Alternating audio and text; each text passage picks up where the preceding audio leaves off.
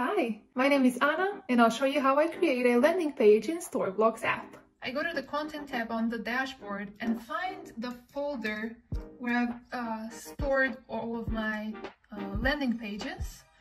And in order to create a new page, I will click the Create New tab and create a new story.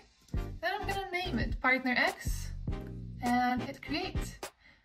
Once I'm in, I have the option to add a block or a predefined uh, component that can be part of uh, my page. I can select it and edit it as it suits me. My other option is to go to a pre-existing landing page for a partner and copy a block from that page that I can just go in my page and paste.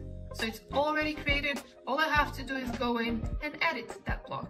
I hit save and voila, my page is starting to look very nice.